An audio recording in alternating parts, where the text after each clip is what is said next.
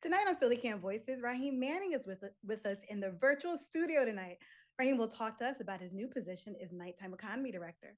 Diamante Ortiz joins us to talk about the work of Reclaim Philadelphia. And we also have two segments one on a recent protest against the building of an arena in Chinatown, and a recap from a recent music festival in Philadelphia. Good evening, and thanks for tuning in to PhillyCAM Voices. I'm your host, Toya Haynes.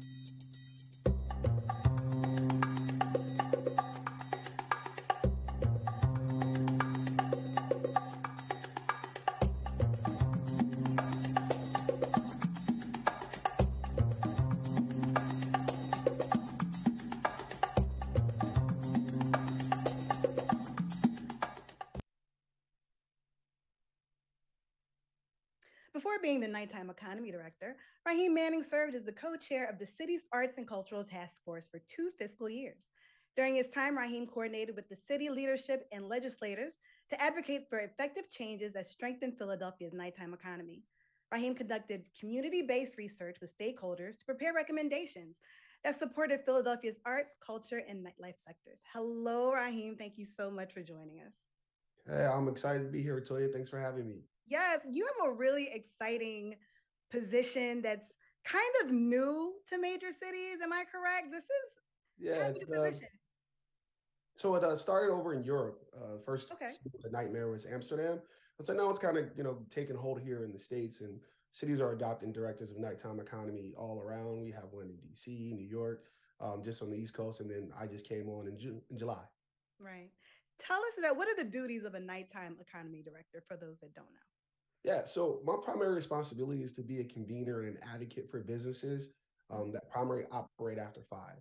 Um, you know, making sure that we're bringing and providing a bridge between the city departments and uh, services that these businesses sometimes get missed on because they operate a little later. Um, I'm based in the Department of Commerce, you know, which is, of course, the business branch of the city government, and so we bring resources support, whether it's financial, uh, whether that's you know coaching, advising uh, to, to businesses, um, but we also, again, make the connection between what residents want their nighttime economy to look like as well, right? So it's not just businesses. People want to sleep at night. People want to, you know, move around at night. People work at night. So advocating to make sure that those people are heard as well. Exactly. I think that a lot of times when we think of nighttime, regards to like a major city, we think a lot about arts and entertainment. You yes. know, like nightlife. Nightlife is not just arts and entertainment. You know, it's also people that work those night shifts. Can you tell us how um, the arts and entertainment sector, since you were part of that task force before, how that fits into your your roles as an economy director, nighttime economy director? Yeah. So again, we know that a lot of the the, the entertainment and artists like make their money at night, right? They're mm-hmm. performing, mm-hmm. they're at venues, or even if they're not on tour, you know, they may be doing like a dinner and a show. Um, so it's a really big part of that nighttime economy. And so the the way that this role helps is is one be an advocate for them. What do they need, right? So if you're working uh, at an establishment that closes at 2 a.m., well, what do you need to get around, right? Is transportation thought about from your point of view? Are city services thought about from your point of view? Do you have a place to eat after you've been working? Maybe you didn't get a chance to eat because you were entertaining everybody. So when you look at the the entertainment part of it and the arts part of it, it's advocating and thinking from that point of view. So again, we're making sure that we're not missing businesses and citizens that need services that the city provides, um, but sometimes misses the mark a little bit after five because we usually didn't have anybody um, to speak from that point of view. Right, right. Is there anything that you feel is unique to Philadelphia as far as needs? I know you mentioned that this is a newer position in other cities that have already have it, even overseas. What do you feel is unique to Philadelphia that they need right now? Yeah, well, I think uh, the most unique thing to Philadelphia is that we're a city of neighborhoods, right? Mm-hmm. Uh, so our nightlife and nighttime economy isn't just you know directed downtown or anywhere. It happens you know all throughout the city, and so bringing that together where we can provide certain services that may be different, right? So downtown needs a different set of services than the corridor like Baltimore Avenue, or right. if you're on Germantown Avenue at a, a, spot or a restaurant or something. And so making sure that you know we're advocating for all of these people to get uh, what they need when it comes to city services and as well as support. You know, I think it's a big thing about uh, with this position is supporting businesses who typically don't have someone in government really thinking about how they're operating, right? Because governments primarily think uh, from a nine to five point of view, and so adding now looking at the 5 p.m. to 9 a.m. and what we can do to better support businesses and help the city thrive, I think is a really big step, and a lot of cities are making it. Mm-hmm. That's really exciting. I love that. What about uh, a big thing that's come up recently about Philadelphia has been safety, particularly at night. And I'm sure that's something that you hear. I wouldn't die almost every day. You know, what are we going to do about about safety? Um, and I know you, you seem to be so optimistic about this position and what, what's coming, which is wonderful. So with that optimism, um, can you tell us like what what what the department is working on in terms of helping citizens to understand that you're moving forward in actions that have to do with safety? Yeah, so you know, the first thing, uh, big thing I did with this position is launch a listening tour, so that I was going around speaking to residents and businesses about, you know, what exactly do they need from their nighttime economy director? How can the city better show up for them? And of course, the issue of safety does come up, right? And so I think what we we can look forward to is that there is now a new voice at the table um, because it's a lot of people in this city that's trying to make sure that we're safe all the time and they're working really, really hard to come up with unique and innovative ways to increase that. However, now I'm bringing a different perspective, right? Because safety looks different during night and day, right? So at night, safety is also about lighting. It's about design. It's about, you know, how are we making sure people are feeling safe, you know, when they're moving through, you know, when when they don't have natural light to cover them, right? So looking at street corners and making sure that, you know, we're designing in a way that people will feel safe, right? Is it lit up right? Is it bright? Are we following where the activity is at night, right? Because if, if there's a corridor that has a lot of activity at night, well, we need to put some extra things there, right? And so again, safety is a big job and it's everybody's job in the city, right. right? To make sure that we're showing that. But from my point of view, I'm bringing those different aspects and I'm looking at it primarily from a nighttime economy point of view, right? Because safety is while people are out being entertained as well, but it's also third shift workers, right? They want to transit and move through the city at night because they're doing services um, that happen while most of us are, are asleep. So what does that look like as well? You mentioned the listening tour. I know that you had the first one at World Cafe Live.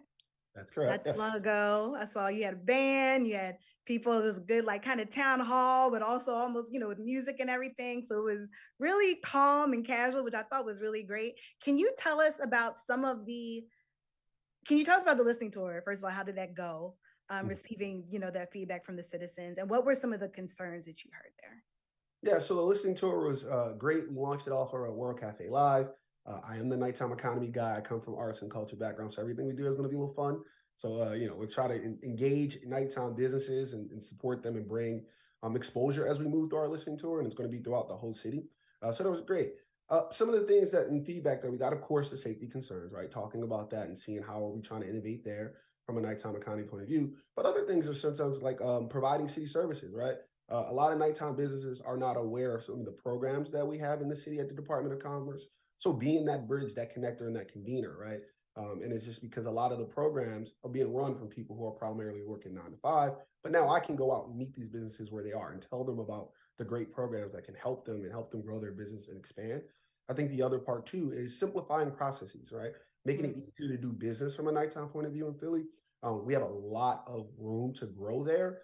Um, and this is one of the steps the city is taking to help do that. But sometimes it's very uh, convoluted to understand how to operate and be compliant in a nighttime business because there's so many things we're regulating and governing there. So a lot of businesses and citizens are, are talking about that. Like, hey, we we want to you know be compliant. We want to be a great neighbor in our neighborhood, right? We want to respect everybody, but sometimes we don't get that information.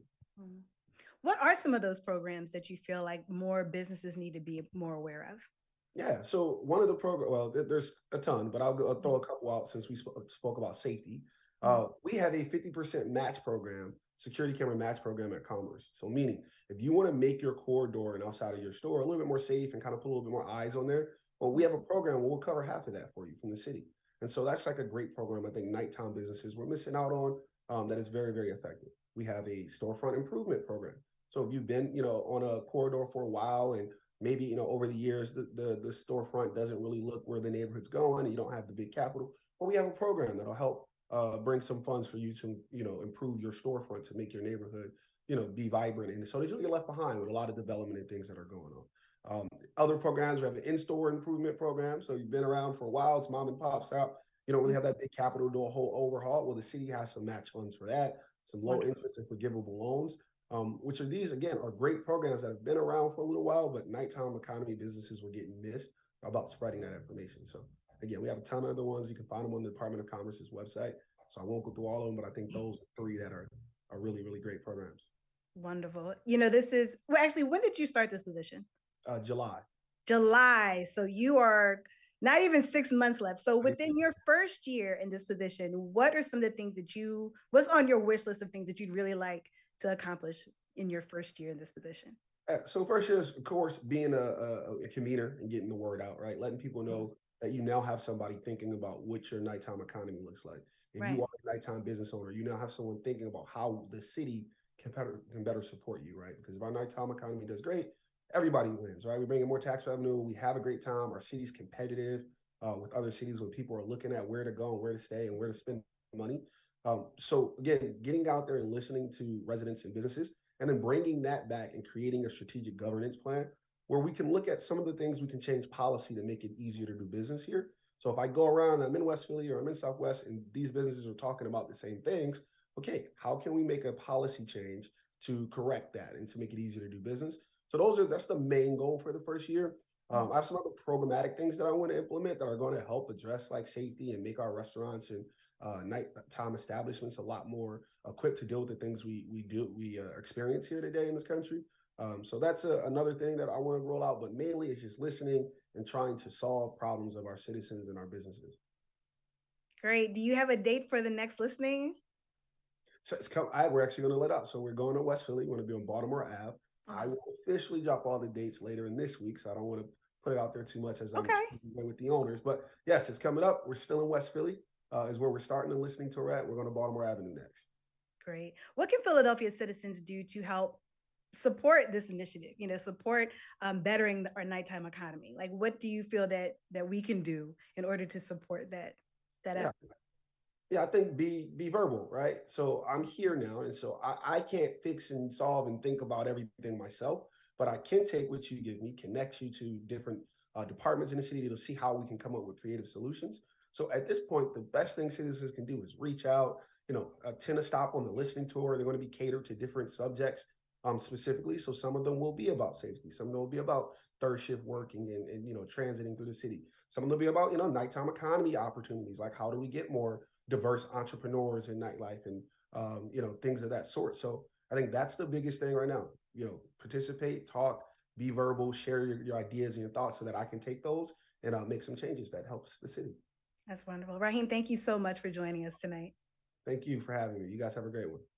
Community reporter Laura Deutsch brings us a segment on a protest that was organized in support of the Save Chinatown Coalition, who are fighting to stop the building of the 76ers Arena and ensure equitable community driven development in the neighborhood. Save Chinatown! Save, save Chinatown! No arena in Chinatown!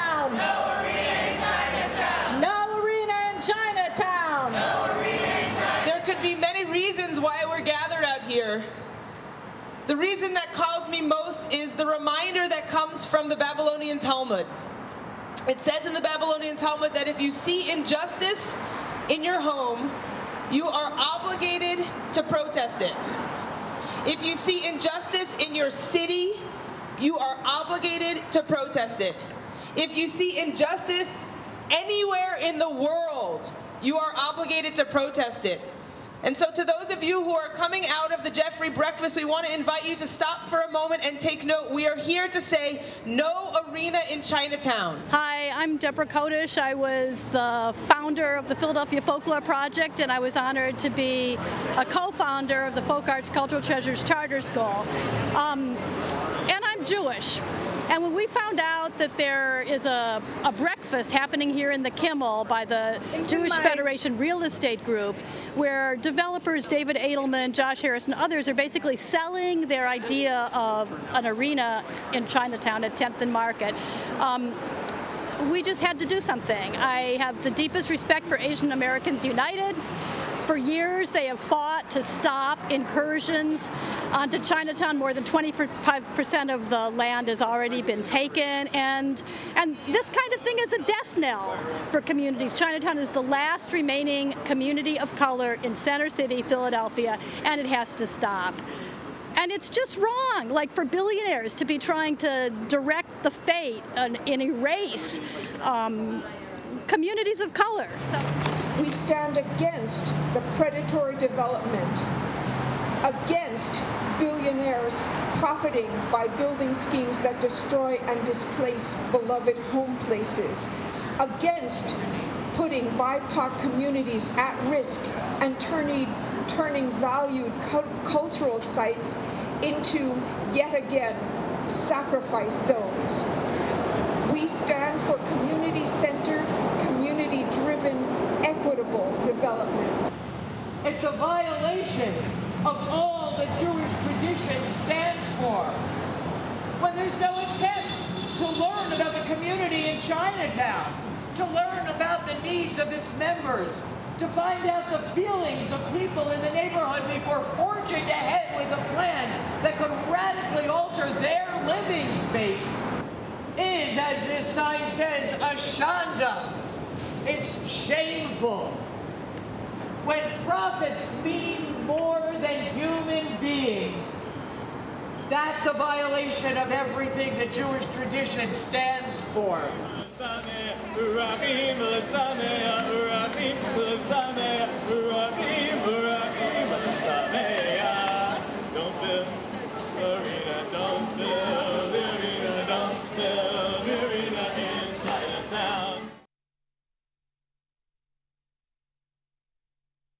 Our second guest tonight is Diamante Ortiz. Diamante is the communications organizer at Reclaim Philly, an organization that builds the power of multiracial working class in Philadelphia through issue, campaigns, and elections. Thank you so much for joining us today. Thank you. How are you doing, me. Diamante? I'm doing good. Listen, it is the night before election day. So hey. we have been just, you know, kind of running around, but, you know, it's been really great energy and really amazing to see how people have been showing up to the polls and building power in our communities. Can you tell us what's been at stake at this for this election cycle, um, specifically here in Philadelphia and in the state of Pennsylvania? Yes. So, from the conversations that we've had at the doors, Philadelphia's have named protecting abortion rights and reproductive rights, as well as protecting our democracy itself, have been the clear two issues in informing how people want to vote this year.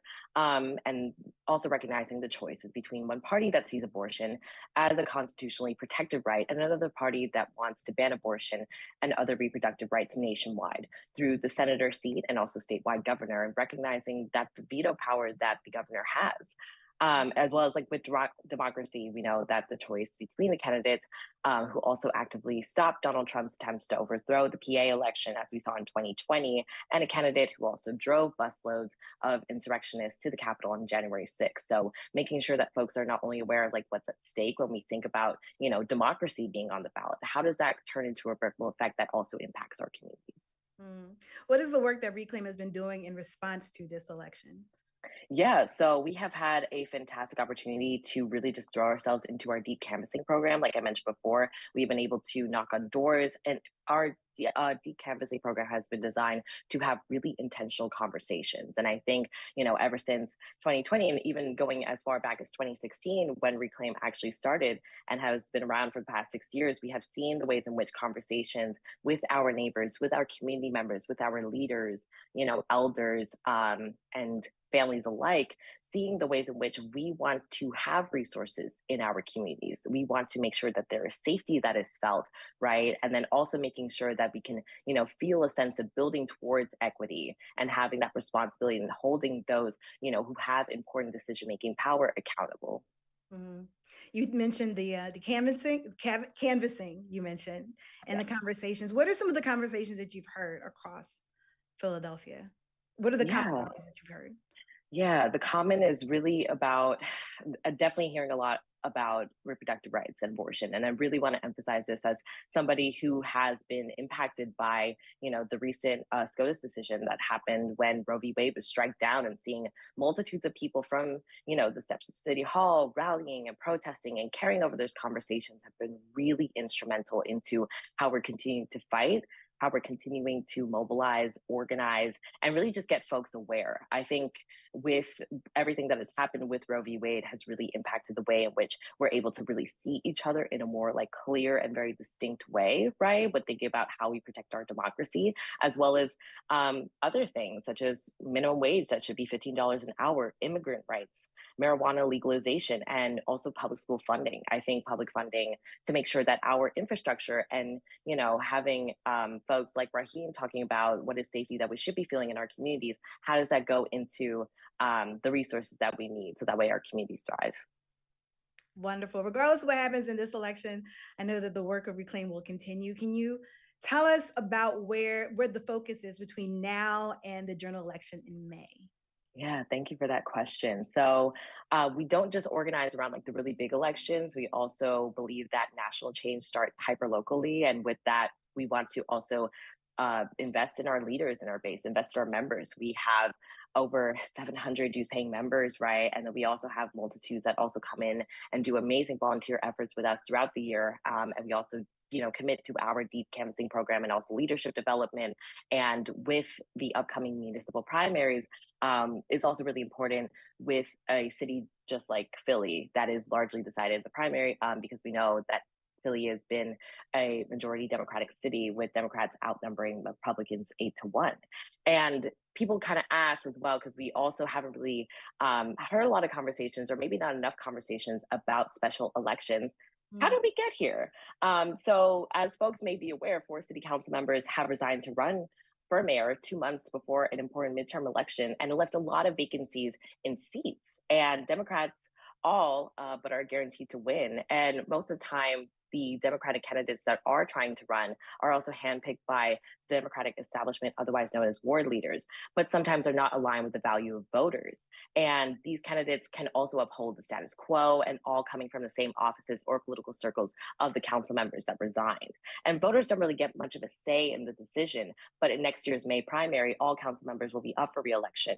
And that's where we can see an actual transformative change in City Hall. So it's really important, um, not only for folks to get aware, but it's also our intention to support the most progressive mayor and the uh, city council member that also aligns with our values in making sure that we have a city that needs to thrive, um, as well as kind of talking b- before about reproductive rights. It will also potentially carry into next year's election with mm. some ballot questions, um, and just also making sure that people are doing the work in their communities and continuing to show up, whether that be through leadership development.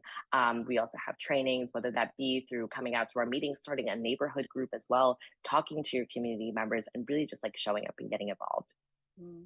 You know, sometimes I think people, going back to what you were saying about being very hyper local, I think sometimes people don't understand how important these midterm elections are. You know, yeah. or they think you know it's just the presidential election, but really it's the the local level that's so important. Can you just speak to that just a little bit more for those that might not understand and they say, oh, "I'll just wait until you mm. know." Can you help them understand locally how this impacts them? Just what would yes. you? Say?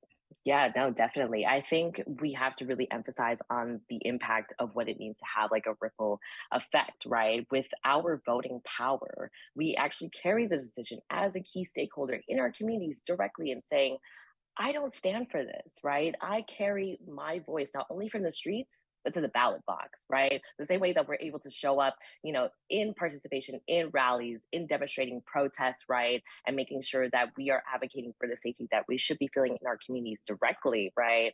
I think it's really important that we're able to, you know, carry that through our elections and not just, you know, necessarily waiting to the last minute. And I think it's also valid in naming like the feelings of disenfranchisement that could come up too, right? Especially, you know, in generations that have might not have felt, you know, in, um, immediate impacts from specific uh, ballot measures or specific legislation or policy. I think it's time that we're opening up a really bigger conversation now and really taking advantage of that when it comes to, you know, what is on the ballot that's really determining our future, our vision, you know, and transforming that into what can be our actual reality and really getting clear on like democracy, you know, fundamental human rights, and doing it in a way that is also, you know, creating that need for showing up for each other, right? And organizing and really getting involved and really investing in each other as well. And I think the amazing work that we have been able to do, you know, with our um, canvassing efforts and our deep canvassing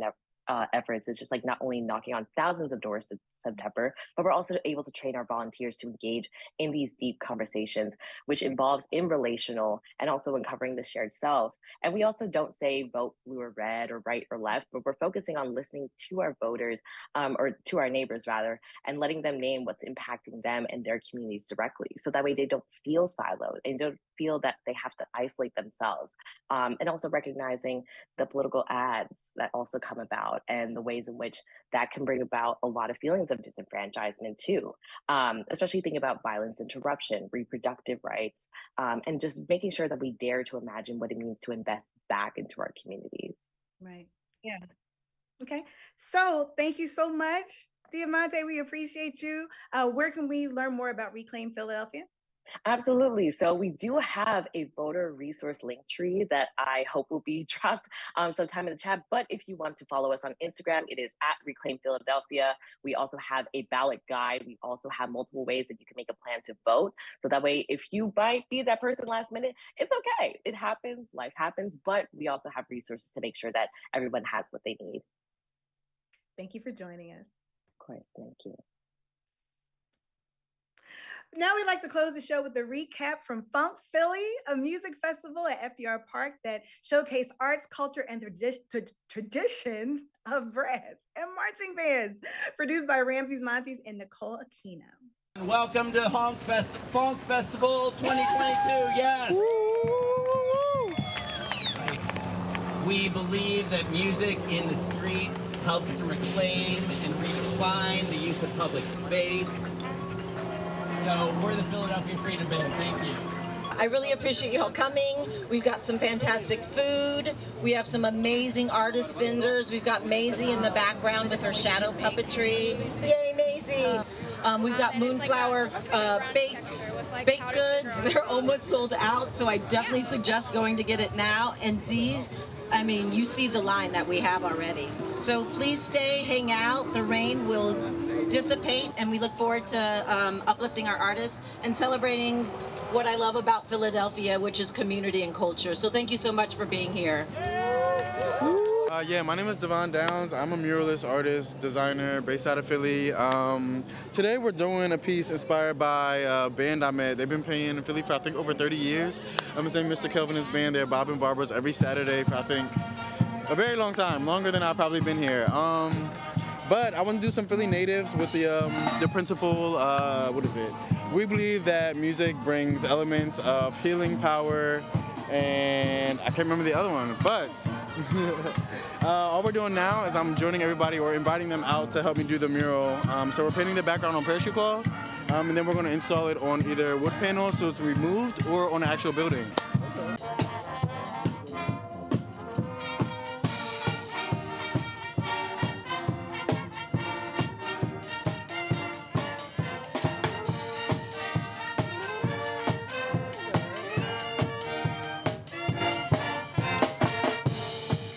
Hi, my name is Luis. We are the Rim Bam Bum from Chile.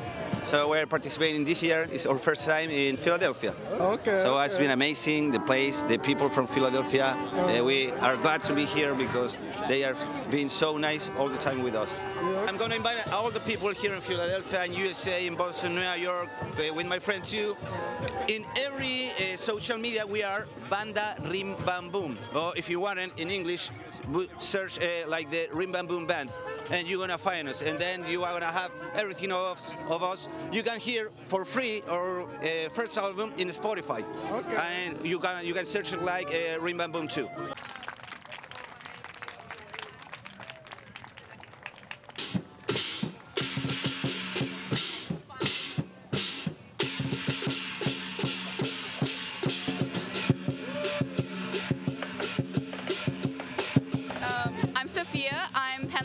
assistant director.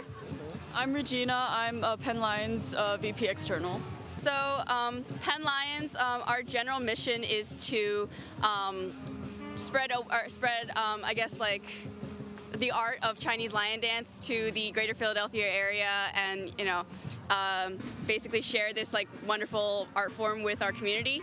And so that's what events like this mean to us. We love to we love to really share this art form with others and um, celebrate all kinds of different, um, you know, culture, all kinds of different cultures and art forms. But you know, this is this is what we and this is what we have to share with others. You can catch the rest of that segment on phillycam.org. Look for PhillyCam Voices. Thank you so much for tuning into this episode.